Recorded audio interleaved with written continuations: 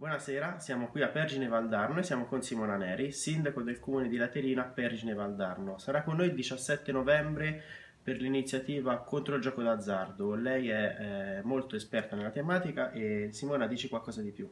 Sì, io sono il responsabile di ANCI di Toscana per quanto riguarda il contrasto al gioco d'azzardo patologico. Purtroppo è una piaga sociale che sta crescendo, lo abbiamo visto anche dagli ultimi dati della raccolta gioco del 2017 che è eh, salita in Italia, è salita anche nella nostra provincia d'Arezzo con un più 3 milioni di euro, quindi la mia attività ecco, è rivolta sia alla sensibilizzazione su questo tema, ma anche eh, siamo riusciti a distribuire presso tutte le amministrazioni locali un regolamento eh, di, per il contrasto al gioco d'azzardo che contiene alcune diciamo, possibili iniziative ed abbiamo anche aggiornato la eh, legge regionale della Toscana, per cui insieme possiamo fare rete, possiamo approfondire questo, eh, questa patologia che purtroppo sta prendendo sempre più più campo eh, ed è diffusa in modo trasversale sia